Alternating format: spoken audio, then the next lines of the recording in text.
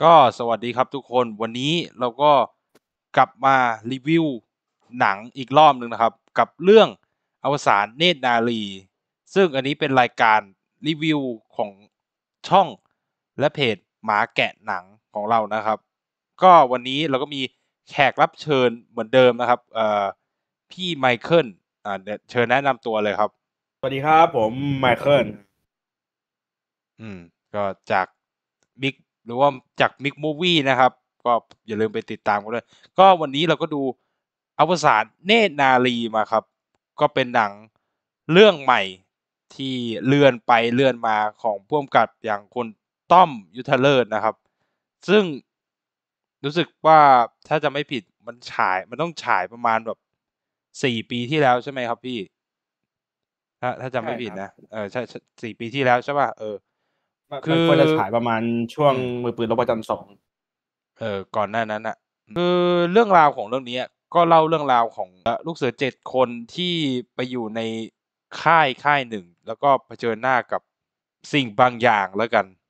แล้วก็เนื้อเรื่องก็ประมาณนี้ครับ หลังดูจบเอ่อผมถามพี่ไมเคิลก่อนเลยว่า รู้สึกยังไง เอาสั้น ๆ เลยอะแบบ รู้สึกยังไง มันอื มันเป็นหนังที่เราไม่สามารถจับต้นจนปลายเนื้อเรื่องได้นะครับ แล้วก็รู้สึกว่างานภาพค่อนข้าง แปลกตาซึ่งมันก็มีให้เห็นในพวกหนังฮอลลีวูดแต่ว่ามันก็ไม่แปลกขนาดเนี้ยก็คืออันนี้มันค่อนข้างแปลกกว่าอาจจะด้วยที่หนังมันถ่ายกล้องไอโฟนมา แล้วมีการแบบใส่ฟิลเตอร์อะไรเข้าไปให้หนังมันดูเป็น mood แบบกึ่งกึ่ง graphic novel ครับซึ่งมันก็เหมือนจะทำได้ดี แต่มันก็ยังไม่สุดอะมันน่าจะทำได้ดีกว่านี้ในเรื่องงานภาพอะมันก็จะชวนดูได้มากกว่านี้ด้วย คือผมรู้สึกว่าการใช้งานภาพแบบเนี้ยมันเหมือนเป็นดาบสองคมอะ พี่คิดยังไงอะ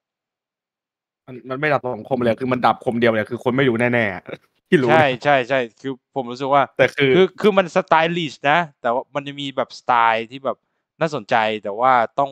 แลกมาด้วยว่าแบบปวดตาแน่นอนอะ เออเพราะผมที่เรารู้ดูสึกเราว่าชอบของแปลกเลยคือผมดูแล้วว่าแบบมันปวดตา คือเป็นพี่พี่ปวดตาปะ คือยอมรับถ้าส่วว่านตัวแบบเราเราไม่ปวดตาขนาดนั้นอืมแต่ว่า เดี๋ยวค่อยมาพูดตอนไหนนี่ดีกว่าตอนแบบ ช่วงพูดถึงข้อดีแล้วกันได้ได้ได้ได้สิ่งที่สิ่งที่เราชอบก็มาที่ความเห็นของผมสั้น ๆ นะ ผมรู้สึกว่าเรื่องนี้เป็นหนังที่นำเสนอไอเดียออกมาได้ดีนะ แต่ว่าผมรู้สึกว่าการตัดต่อแล้วเหมือนกับเสียงบางเสียงแบบการตัดเสียงมันมันดูแบบขาดขาดเกินเกินๆบางช่วงก็แบบดีเลย บางช่วงก็แบบ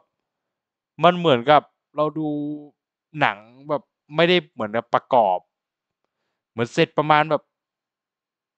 ไม่เต็มร้อยอะ ถ้าถ้าให้พูดตรงๆอะ มันดูผีเข้าผีออกใช่ปะใช่ใช่มันดูผีเข้าผีออก เดี๋ยวบางจังหวะเดี๋ยวดีเดี๋ยวร้าย บางจังหวะเดี๋ยวแบบ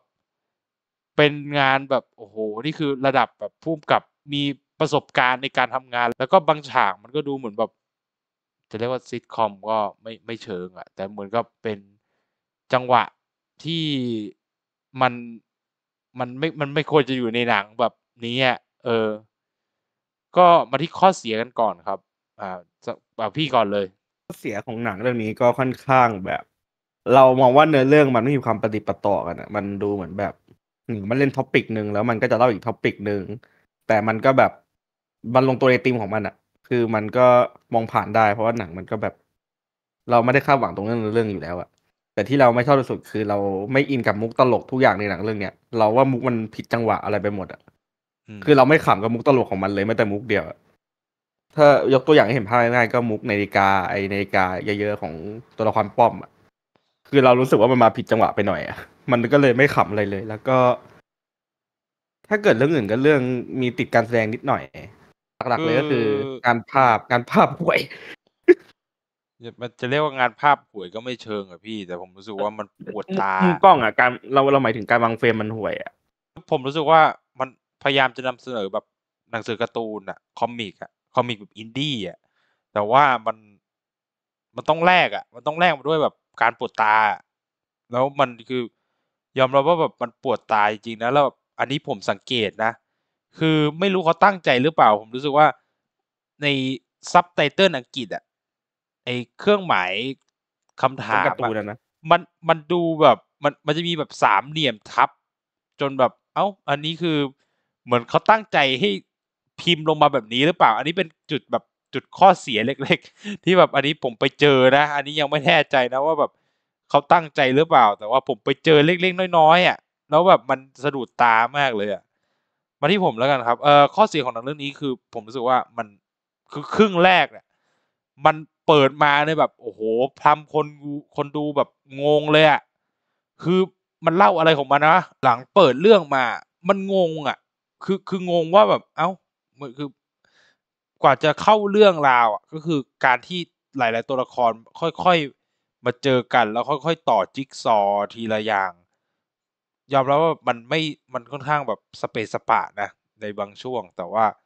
มันพอดูจนจบแล้วอะ มันก็รู้สึกว่าเป็น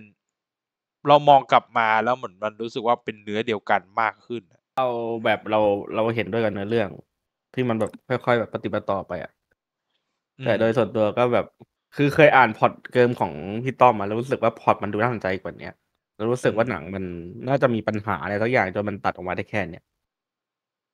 เพราะผมเห็นตอนแรกเนี่ยพี่ว่าแรก SF ตั้งความยาวไว้ที่ร้อยสิบนาทีอะ ก่อนที่จะเปลี่ยนมาเป็นเก้าสิบห้านาที อันนี้อันนี้ดูจาก SF นะครับ ดูจากข้อมูล SF นะ ว่าลดเหลือเก้าสิบห้านาที ผมก็เลยคิดว่าแบบ ไอ้ cut original cut อะ director's cut อะยาวกว่านี้แน่นอน แล้วแบบมันดูแบบแหว่งแหว่งไปหลายช่วงด้วย พี่มีข้อเสียไหมครับ ก็ถ้าอีกนิดหนึ่งที่นึกออกตอนนี้ก็ เราไม่รู้ว่าหนังมันจะโฟกัสใครอะมันมีจะมีช่วงหนึ่งที่หนังมันโฟกัสไปตามตัวละครนู้นตัวละครนี้แล้วมันให้เวลาแบบ คือเราแบบเราไม่รู้การ balance ของมันว่ามันจะเล่าใครเป็นหลักอะมันจะมีอืมช่วงหนึ่งนะก็ช่วงแรกคือที่เหมือนดูตัดสลับไปทางแวบบคิตตี้แล้วก็สเปซสปะใช่อย่างมันที่ดูผมสเปซบอกสปามันไม่รู้อืมมันไม่รู้ใครจะเป็นตัวหนักของหนังอะอืม แล้วก็ข้อเสียหมดแล้วนะพี่งั้นไปข้อดีนะ ข้อดีสำหรับผมคือ ผมรู้สึกว่าเรื่องเนี้ยงานภาพอะอย่างที่ผมบอกมันเหมือนพยายามจะเล่าเหมือนหนังสือการ์ตูนนะ แต่ว่ามันก็เป็นดาบสองคมสำหรับคนดูนะ ที่แบบมันมีสไตล์ที่แบบเอ้ยน่าสนใจดี แล้วก็มันก็ต้องแลกมากับการแบบปวดตา ถ้าสมมติใครแบบ สมมติใครไม่เตรียมพร้อมแบบนอนไปหรือว่าแบบ ไม่เตรียมพร้อมสำหรับการดู ภาพที่แบบมันจะเรียกว่าใช้ frame frame rate หรือว่าภาพสเกลแบบเนี้ยผมเชื่อว่าคือมันเดินออกได้ไม่ยากเลยอะอืมแล้วก็ผมรู้สึกว่ามันมันนำเสนอไอเดีย ในช่วงแบบประติดประต่อเรื่องราวได้โอเคนะ ถือว่านำเสนอเรื่องราวออกมาได้โอเค แล้วก็ต่อจิ๊กซอให้เรารู้เรื่องมากขึ้น แล้วก็ เสียดสีไอเดียเสียดสีแบบความคิดของพุ่มกับลงมาได้ ถือว่าก็พอใช้ได้ครับ อะ ตัดมาที่พี่บ้าง เราชอบหนังเรื่องนี้ตรงที่เราเตรียมพร้อมในการไปดูมาก่อน เพราะว่าหนังเรื่องเนี้ยเราว่ามันเหมาะกับการดูตอนเมา เราก็เลยแบบ ทั้งแบบดื่มเหล้าดูดปุ้นอะไรก่อนเตรียมแบบเตรียมตัวเพื่อไปดูอะ โดยที่ยังมีสติอยู่อะเราก็รู้สึกเหมือนเราหลุดเข้าไปในหนัง แต่ว่า คือเราแค่มีสติระดับหนึ่งแล้วก็จับต้นทนปลายในเรื่องไม่ได้ แต่เรารู้สึกภาพมันเหมาะกับการดูอะไรในแบบ จังหวะอะไรแบบนั้นมากเลย มันเหมือนสร้างเพื่อคนเมาอะแล้วพอดูตอนเมาเราก็ปล่อยจอยมันไปทั้งเรื่องเนี่ยแล้วพอมันปล่อยจอยมันก็แบบ รู้สึกมันก็หนังมันมีแบบกลุ่มขายของมันอะคือมันควรแบบเปิดดูตามร้านเหล้าหรือเปิดดูตามเทศกาลอะไรที่มันแบบเป็นแบบปาร์ตี้กัญชาหรืออะไรพวกเนี้ย ซึ่งมันน่าจะเป็นแบบ หนังที่เหมาะกับกลุ่มคนแบบนั้น ดูตอนเขาดาวน์ไงใช่ใช่ใช่หรือตอนเขามัดาวน์รู้สึกไงแบบหนังมันดูแบบวืดวืดวืดวืดตลอดเวลาเออเราก็เลยชอบงานภาพมันมากเลยแบบ รู้สึกแบบ เหมือนเป็นหนังฟิลที่เราเหมือนเราเล่นเกม น่าจะเรื่องน่าจะเกมแวร์วูฟอลองอมองอัดอะไรสักอย่าง คือเราชอบเกมอะไรที่มันแบบเป็นแนวกราฟิกโนเวลอะไรเงี้ยซึ่งหนังเรื่องนี้มันก็เข้าออกมาได้แบบนั้นนะแต่ในเรื่องมัน เราว่าในเรื่องมันยังไม่สุดที่มันจะเล่าในมุมมองภาพแบบเนี้ยแต่ที่ชอบสุดใด ๆ เลยก็คือ กิตตี้ชาในเรื่องนี้แซ่บมากครับชอบครับ คือผมรู้สึกว่าเรื่องนี้คิตตี้ชิชาเนี่ยแบกเลยจะเรียกแบกเลยได้ไหมเพราะว่าผมรู้สึกว่าตัวตัวละครเด็กเด็กคนอื่นน่ะ ตัวลูกเสือคนอื่น ผมรู้สึกว่ายังกลางๆไม่ไม่ได้รู้สึกแบบเฉิดฉาย มีตัวไหนเฉิดฉายขึ้นมาจนแบบ เฮ้ย คนนี้เราต้องจดจำออกจากโรงอะ อืม แล้วก็ เออ อันนี้ไม่พูดไม่ได้เลยดนตรีประกอบที่ เอ่ชอบชออบชอบเทสถือรู้ว่าสึกการชอบใช้เพลนะงดี อืม ดีกว่าหนังเก่าๆของพี่ต้อมอะอืม เทสเพลก็งดูใช้ดูดี ดูจบแล้วอยากเดินเข้าป่าเลยอะใช่ใช่อ่าก็ถ้าให้วัดกับเรื่องอื่นน่ะสำหรับพี่อะ พี่แรงยังไง กับเรื่ถ้าองเอานี้นะในยุคหลังของพี่มันต้องแบบเอาในหนังยุคหลังของพี่ต้อมอะตั้งแต่บางกอกกังฟูอะไรมาเรื่อยๆอะอืแล้วมว่าพี่ต้อมมือตกตั้งแต่ตอนช่วงรักสามเศร้าอะอืม บุปผาสามจุดหนึ่งสามจุดสองก็คือ ถ้าเกิดมันไม่ดูต่อเนื่องกันอะ มันก็จะมองเป็นหนังห่วยๆไปเรื่องหนึ่งอะซึ่งกับเรื่องนี้เรามองว่าแบบ คือหลายคนอาจจะชอบตุ๊กแกรักแป้งมากใช่ปะอืม ซึ่งซึ่งเราก็ชอบแหละแต่คือเรายังมองว่าหนังมัน ธรรมดาท็อปิกมันยังดูธรรมดา ซึ่งเรื่องนี้มันมีความแปลกแล้วเราก็ไม่ได้คาดหวังอะไรมาก เพราะเราก็ล่าสุดก็จำได้ใช่ไหมมือปืนโลกประจำสองอะจำได้ครับจำได้ผิดหมันวังเป็นหนังมากที่มันเลยแบบใช่ใช่น่าแล้วผิดพอหวัดูงเรื่องมานี้กเราก็แบบ ความคาดหวังมันน้อยมากๆอะถ้าเอากันตรงๆใช่นะใช่ใช่ เราก็เลยไม่คาดหวังอะไรมากเราก็คิดว่าแบบ น่าอืจะมตอนแรกเราคิดว่ามันน่าจะห่วยกว่ามือปืนรบประจันสองแต่พอดูไปก็ มันก็ดูดีกว่า มันดูเป็นเนื้อเดียวกัน มันดูแบบ มันดูเป็นหนังเรื่องหนึ่งอะที่มันดูไม่มีปัญหาอะไรที่มัน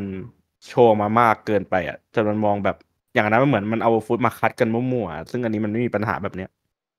อืมแต่ว่าผมเราก็ก็เลรู้ยรู้สึกว่าแบบมันยังห่างไกลชกัอบบความคลาสสิกแบบ เอ่อมือปืนโลกพระจันทร์ภาคแรกอะมันยังห่างไกใช่ลใช่มากอืม คือถ้าจัดแรงก็คือ มันมันดีที่สุดในหนังพี่ต้อมในยุคช่วงแบบเลยสองพันสิบห้ามาสองพันสิบห้ามามีเรื่องอะไรบ้างอะถ้าเทียบกับดอกฟ้าหมาแจ๊สแล้วก็มือปืนรบประจันสองเออเอแล้วอเรื่เอองอเนี้ยเรื่องเราชอบเราดอกชอบเรื่ฟ้าองนี้หมากว่าจันทร์เออใช่ ผมรู้สึกว่า ดอกผมฟ้าหผมามแจ๊สจำก็ไม่ไม่ได้ได้แย่แล้วอะแล้วก็ก็อืพอมดูได้อยู่แต่เรื่องนี้มันแบบดูฉีกแล้วก็ดูแบบเป็นพี่ต้อมอืมแต่ถ้าเนื้อเรื่องเนื้อเรื่องก็ตามไปวัดไปหวาหมอการดูตอนเมาถ้าไม่เมาก็ดูก็จะก็จะรู้สึกแบบ อัสตอนแรกอะที่แบบมองมองเรื่องความแบบไม่ปฏิดปะต่อกันนะซึ่งซึ่งถ้าเกิดเมามันจะไม่มีปัญเอหาตรงนี้อเท่าไหมัร่นใช่ใช่อันนี้ผมเห็นด้วย